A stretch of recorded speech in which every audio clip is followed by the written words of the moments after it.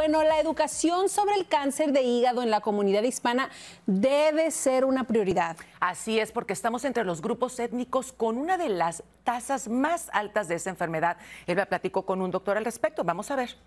Como latinos tenemos un mayor riesgo de desarrollar diabetes que la población general y la diabetes del tipo 2 está relacionada con un mayor riesgo de cáncer de hígado.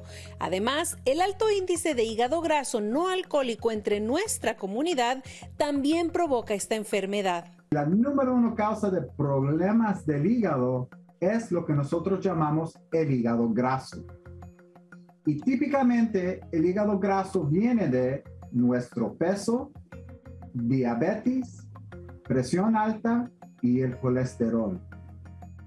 Esta síndrome, que nosotros le llamamos la síndrome metabólica, afecta a latinos tres a cinco veces más que las otros tipos de comunidades. ¿A qué edad debe la gente con cualquiera de esas enfermedades preocuparse por ir a hacerse chequeos y, y sobre todo, pues, con qué tipo de doctor? He tenido todo tipo de pacientes, de jóvenes de 18 años y de 75 y 85 años de edad.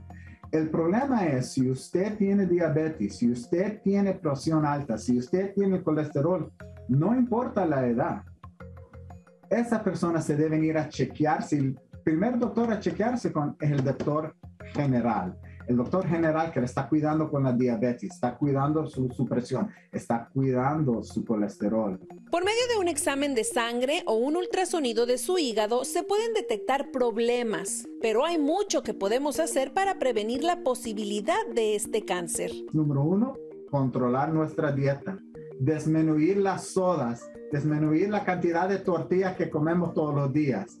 Ese es el paso número uno para mejorar la salud de nuestra comunidad ahorita nosotros con la compañía ESI estamos haciendo una campaña para hacer que todo el mundo sepa de problemas del hígado y cáncer del hígado. Y hay un website que se llama liverfirst.com slash español que uno puede ir a buscar información sobre lo que nosotros estamos haciendo. Y octubre 27 a las 7 de la noche, hora pacífica, nosotros estamos haciendo una charla para que todo el mundo aprenden y tengan un poquito más información de este tema. Esta charla es completamente gratis visitando la página liverfirst.com diagonal español.